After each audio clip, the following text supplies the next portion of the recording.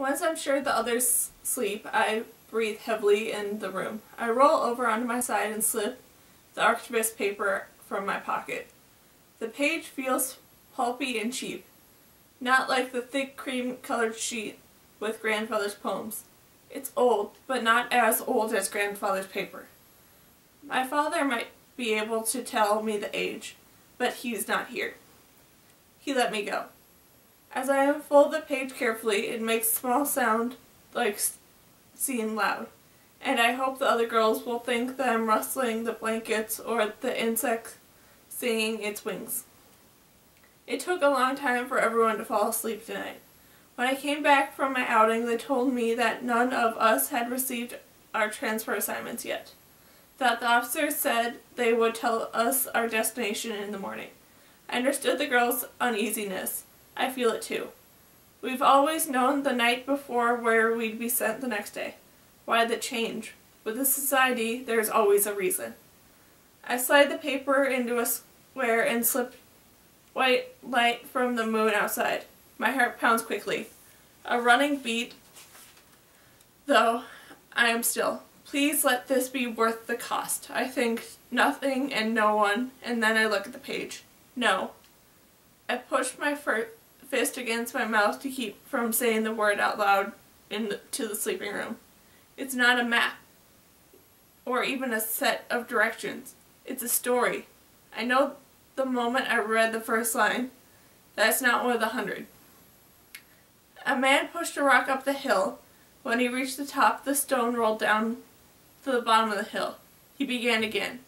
In the village nearby, people took note. A judgment, they said. They never joined him or tried to help, because they feared those who issued the punishment. He pushed, they watched. Years later, a new generation noticed that the man and his stone were sinking into the hill, like the setting of the sun and the moon. They could only see part of the rock and part of the man as he rolled the stone along to the top of the hill. One of the children became curious, so one day the child walked up the hill. As she drew closer, she was surprised to see that the stone was carved with names and dates and places. What are all these words? the child asked. The sorrow of the world, the man told her. I pilot them up the hill over and over again. You are using them to wear out the hill, the child said, noticing the long deep grove worn where the stone had been turned. I'm making something, he said. When I'm finished, it will be your turn to take my place. The child was not afraid. What are you making? A river, the man said. The child went back down the hill, puzzled at how one could make a river.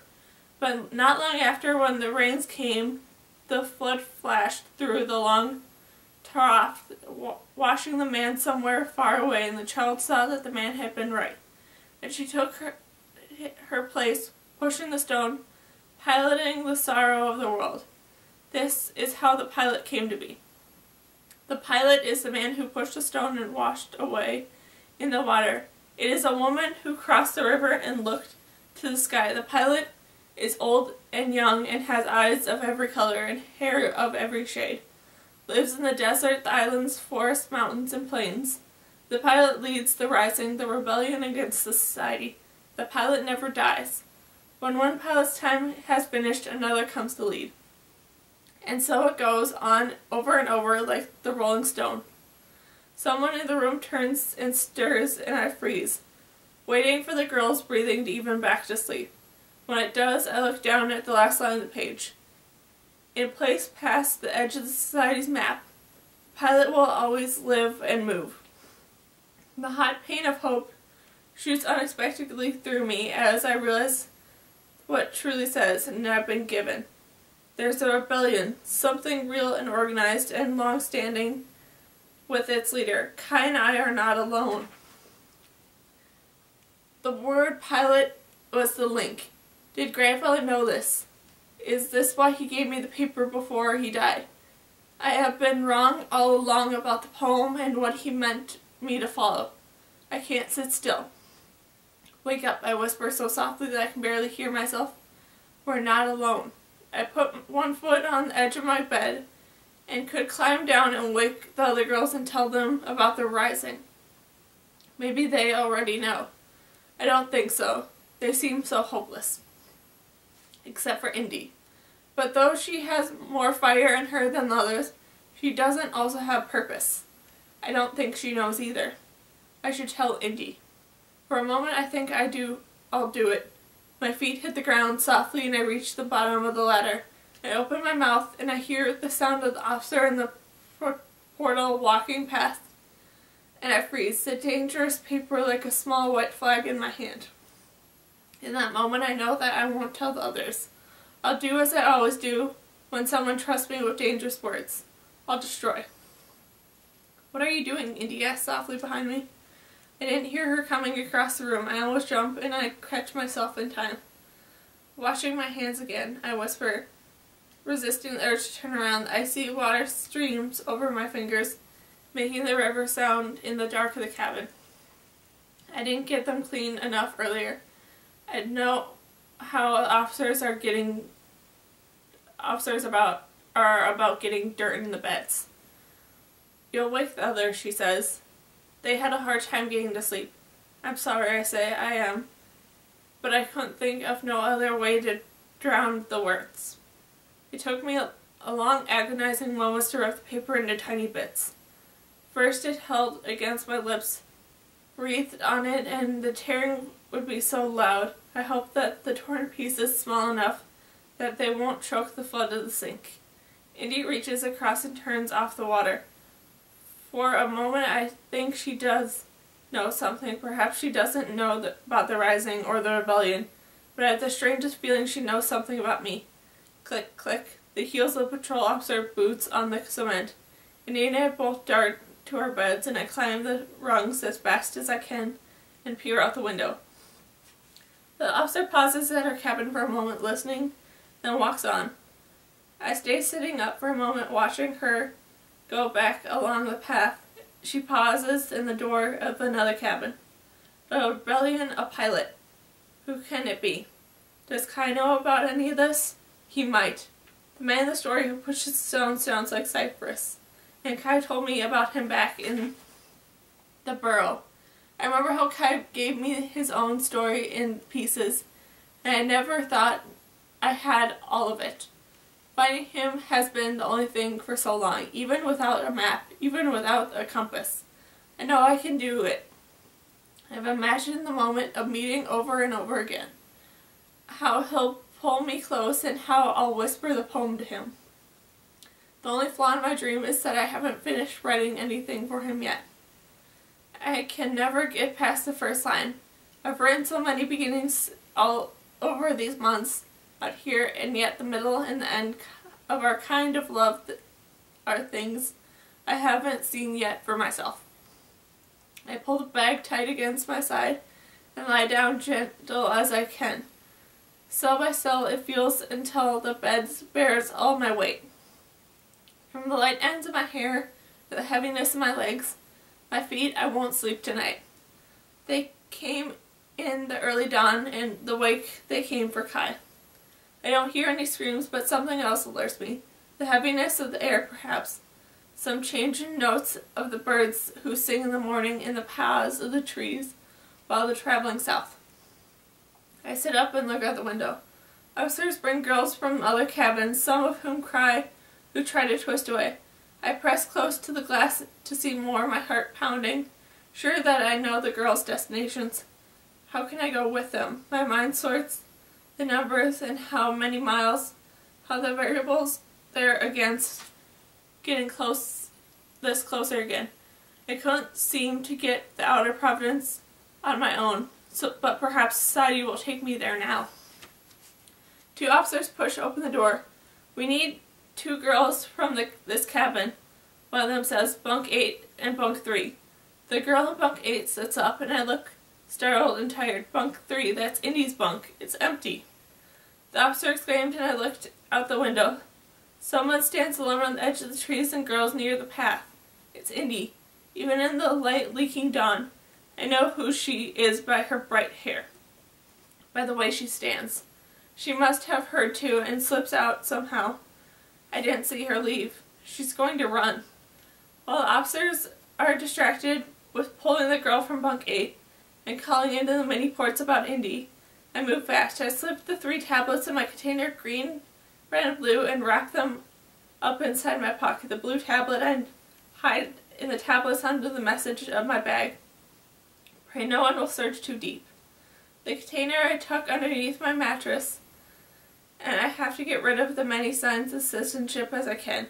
Then I realize something is missing from my bag. The silver box from my match banquet.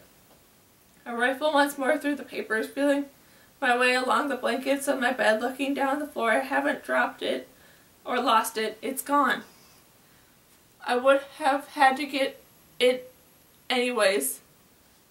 That's why I planned to do, but the loss is unsettling. Where could it be? There is no time to worry about it now. I slipped down from my bunk and followed officers and the crying girl. The others in the cabin pretend to sleep, just like the people in the Borough on the morning it took Ky. Run is Indie, I whisper under my breath. I hope we both get what we want. If you love someone, if you love, if someone loves you, if they taught you to write and made you do so, you could speak. How can you do nothing at all? You might as well take their words out of the dirt and try and snatch them away from the wind. Because once you love, it is gone. You love and you cannot call it back. Ky is heavy in my mind. Deep in my heart, my palms warm on the empty hands. I have to try and find him. Loving him gave me wings, and all my work has given me strength to move them. There are sharp lands in the center of the camp. The officers, some of whom haven't seen before, look hurried, worried, and no one's wearing a pilot's uniform, so something cut and looks at the sky. The sun will rise soon. We're missing one, I hear him say quietly. And then I slip into line. Are you sure? The officer asks, running her eyes over us. Counting, her expression changes and she looks relieved. She has long, lovely brown hair and seems gentle for the officer. No, she says, we have enough. We do? The first officer, he counts himself. I imagine his eyes linger on my face, remembering that I wasn't there before. Not for the first time, I wonder how much of what I do is known and predicted by my official. But she still does she still watch? Does the society? Another officer hauls Indie on board as the rest of us finish filing through the door. There's a claw marks on his face. Field dirt streaks his uniform and her plain clothes like the wounds seeping soil. She tried to run, the officer says, pushing her into a seat next to me. He snapped a pair of hand locks on Indie's wrists. She doesn't flinch the sound of them snapping shut, but I do. Now we have too many, the female officer says. They're aberrations, he snaps. Does it matter? We have to go. Said, should we search them now? She asks. No, they'll find the tablets in my bag. We'll do it in the air. Let's go. Indie looks over at me. Our eyes meet.